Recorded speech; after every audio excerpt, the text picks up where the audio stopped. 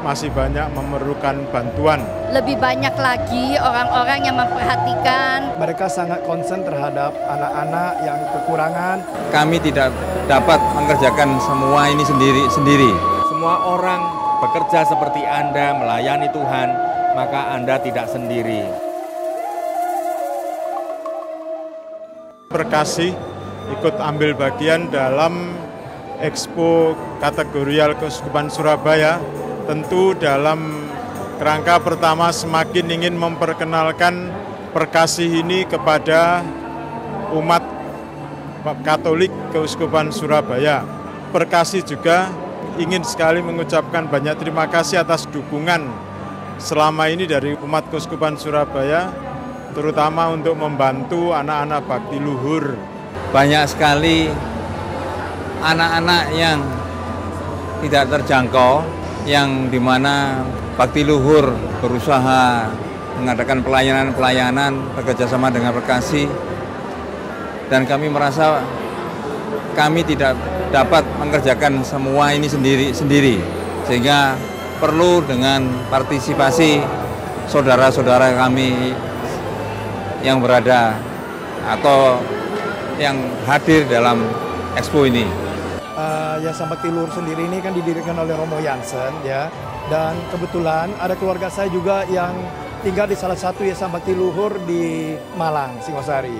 Dan hari ini saya melihat sendiri luar biasa karya-karya dari binaan Romo Jansen ya dan Bakti Luhur ini mereka sangat konsen terhadap anak-anak yang kekurangan dan mereka kemudian membina mereka bagaimana caranya supaya mereka bisa menghasilkan karya-karya seperti ini lukisan dan ini luar biasa kami sangat mengharapkan bantuan dari umat Katolik di mana pun berada untuk bisa memberikan bantuannya khususnya terhadap anak-anak uh, yang tidak memiliki keberuntungan seperti layaknya manusia-manusia normal tapi mereka punya kemauan yang sangat kuat untuk memberikan karya yang terbaiknya, uh, untuk memberikan karya dan untuk kehidupan mereka. Oleh karena itu, kami berharap umat Katolik di mana pun bisa membantu yayasan ini supaya yayasan ini tidak akan bisa apa-apa tanpa kita semua. Sehingga kita sangat berharap bahwa tidak hanya saya, tidak hanya yang lain-lainnya juga bisa memberikan yang terbaik kepada yayasan ini. Semoga yayasan ini terus berkarya.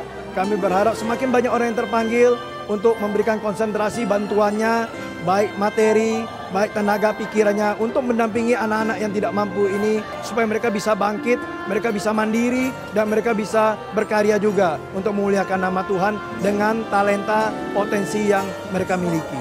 Sehingga ke depannya ini menjadi perhatian kami semua, khususnya nanti saya akan menyampaikan ke rekan-rekan di Komisi D agar memberikan fokus perhatian sekiranya Pemkot juga memberikan perhatian di fasilitas umum di uh, ruang-ruang uh, terbuka di mana anak-anak yang disable ini juga bisa diberikan uh, peluang kesempatan atau tempat-tempat yang memang uh, harus dispesialkan mereka sehingga tidak bisa disamakan dengan orang-orang umum normal biasanya dan harus menjadi perhatian dan perlu dianggarkan sejumlah anggaran untuk membantu anak-anak yang uh, tidak normal seperti layaknya manusia biasanya.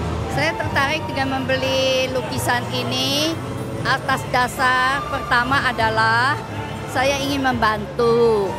Dan kedua memang lukisannya juga bagus. Agar lebih banyak lagi orang-orang yang memperhatikan uh, untuk membuat dia lebih semangat bahwa sekalipun dalam keterbatasan uh, mesti ada orang yang peduli dia menghargai dia sehingga uh, mempunyai semangat dan kita yang mempunyai kasih itu tadi hendaklah uh, melakukan pelayanan uh, terutama untuk mereka-mereka yang dalam uh, punya kebutuhan khusus. Kami tidak bisa mengucapkan dengan kata-kata rasa terima kasih kami, rasa syukur kami atas kepedulian dari saudara-saudara kita yang juga selama ini banyak sekali ikut berpartisipasi dalam dengan Perkasi dalam bala memberikan sumbangan, memberikan advis, memberikan pelayanan, pengobatan dalam segala bidang. Perkasi Surabaya, selamat untuk uh, karya pelayanan kalian. Saya melihat kalian begitu getol dan mensosialisasikan melalui eh, terbitan-terbitan majalahnya Perkasi. Dan harapan saya dengan sesudah mengikuti expo ini, Perkasi juga di satu sisi semakin dikenal oleh kelompok-kelompok kategorial, semakin dikenal oleh umat Keuskupan Surabaya, khususnya di kota Surabaya. Lalu mereka bisa ambil bagian, mereka bisa lalu menjadi peduli dan eh, ikut ambil bagian dalam pelayanan Anda bersama Perkasi.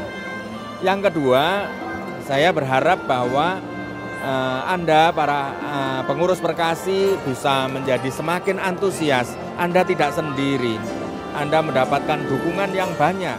Semua orang bekerja seperti Anda melayani Tuhan, maka Anda tidak sendiri. Anda tetap bangga, bersyukur pada Tuhan dan semoga sesudah ini Perkasi pengurusnya tetap aktif di dalam kepa, di dalam forum pastoral kategorial sehingga selalu kontak dengan kelompok-kelompok lain, pengurus-pengurus lain, kerjasama dengan pengurus lain, sehingga nanti kelompok-kelompok yang lain juga ikut mempromosikan karya pelayanan Anda kepada seluruh jemaat.